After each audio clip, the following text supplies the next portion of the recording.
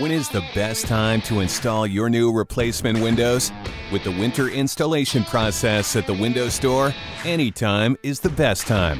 By taking extra steps to reduce your home's exposure, like isolating each room and replacing one window at a time, we can prevent heat loss and ensure your home stays clean and protected. You don't have to spend another winter wishing you would have replaced your windows. Your clear choice, the window store.